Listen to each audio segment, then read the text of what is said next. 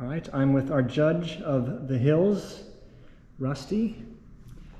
And you are going to show us the two that are down here. Right. So um, I don't have the artist names. I, I selected these by by numbers, so I'm going to tell you the numbers. So this is 27B. 27B was um, first place.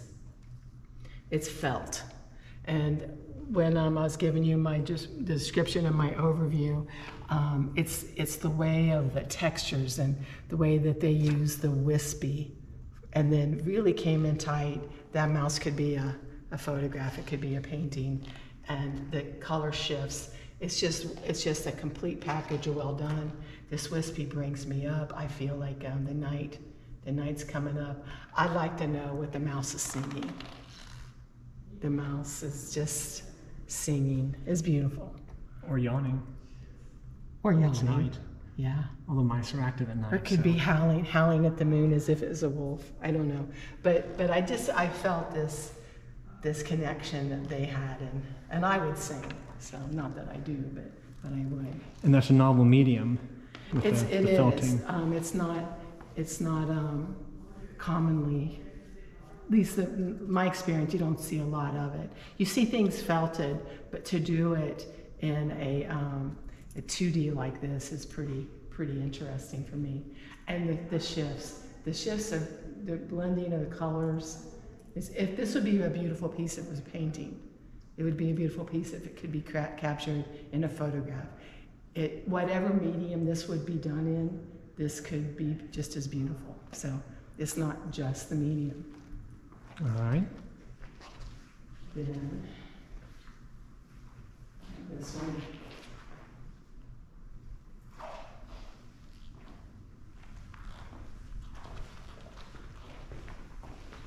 So this is 32A. Now, I didn't look at any of the titles, so I can't tell you what it's called. And it's a digital photography. And it's not something that I have a lot of experience with, so then I take it into the realm of the elements of design, composition, tension, and so on. So just as with the felt piece, it would be beautiful in whatever medium they've they've pulled it together in. So here it's it's um, the light and dark. This uh, this wasn't digital. I'm mistaken. I think this was um, dark room. Dark room I'm developed. I said digital, but I'm wrong. Classical photography. This what? Classical photography. I would think so. Not that not that I know a lot about that either, but I love the light and the dark, and I talk about tension a lot. But this, whatever this foreground thing is right there, it connects the two. We're not we're not looking at the light and the dark separately, but rather we have this bridge that's here. The other thing that I thought that this artist did really well is that. Um, I would have, I probably would have had a feeling that it was a little bit pedestrian if this face had been turned and they were somehow facing each other. But I like that we're coming here and then in this darkness, this person is looking at us, although we can barely see them. Feel like there's a strong narrative here. Composition is great. We have this, we have this division that I almost don't even notice because the way this is connected here, that almost goes to the back. I love the way these colors blend right into the darkness just when I talk about pushing a medium, this is one of them, and it's it's just well thought out so that the piece is harmonious. Yet we have light and dark. We have we have reflective. We have bold. It's just just a lot of really interesting little little subtle shifts in it. And uh, anyway, that's why that's why I sele- ju- um, selected this one to be the um, the um, the second place. Second place. Second okay. place, yeah. And we have third and grand prize upstairs. Upstairs. hmm So we'll go up there and take a look at those. A lot of times people wonder how can you have how can you judge a show when it has so many mediums because there's you have when you have so many mediums you think it's apples to oranges you know but it really isn't because the elements of designs exist um, in all pieces so for a 3d piece uh, you look at the spatial relationship that it's around because we all assign space around an object. So how does that piece interact around that around that shape that we would all assign the space. So then you can start to see how when you approach it, how does it pull you in and so on.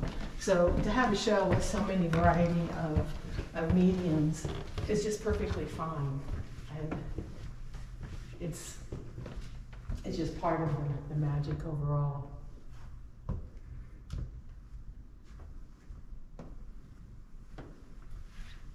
Okay.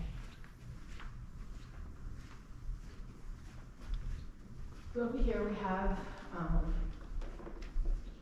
this photograph that, um, again, it's, it has this, it has this beautiful fall foreground. It looks like berries to me, I don't know. But then it just pulls us into the deep, these deep colors back here. Is it a moment? Is it staged? Is it manipulated? I don't know. But if, if it was any one of those things, then good for them. Good for them. I love the fact that these branches back here are reflecting the light, where here we are caught in the, um, the cool colors of the browns and the deep reds. It's really lovely. I would, I would um, stand at this window and look, if this were a window, I'd stand at it, out of it, and live something beyond, beyond those trees. And that's the kind of narrative that I talk about when I, when I'm seeing a piece. How much you see how deep, see how that just pulls you in those deep colors right through that. It's just, but it's muted, deep but muted. It's beautiful. And what place is that? This is um, third place, Okay. and then the best to show was a little surprise for me. Um, it's digital or um, digital photography, which um, so it was a surprise. I really thought that it was um, probably inks, but um, it's it was a show. It's a showstopper, and It's surprising what effects you can create now. Yes, because I, that's not a medium that I'm familiar with. But when I say, you know, they're, we, the- it's well done, painted, digitally um, um, altered, you know, whatever. This is such a crazy strong piece. This would be a beautiful stained glass. If it was a stained glass, it'd be beautiful ink. And um, I talk about um, tensions and pieces that pull you in. So I um, compared this, this organic material to standing at a fence, almost like barbed wire. Because it's this, all this stopped me right here. And what stops me then makes me plant my feet and then start looking beyond.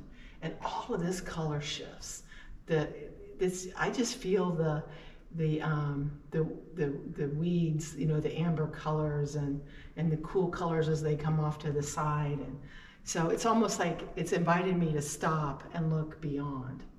And I feel that. Look at that sunset, or not, whatever it is. The warmth of it is just, just draws me in. And it's, it's not that it's barbed wire, but it stopped me like a fence would. It just absolutely stops me, and then I can just, then I can just move on into it. And I don't even know what these things are in there, but they don't matter to me anymore They because they're so beautiful. They look like wheat. I thought grass that. heads, grass seed heads. Yeah. But but what what is this back through here?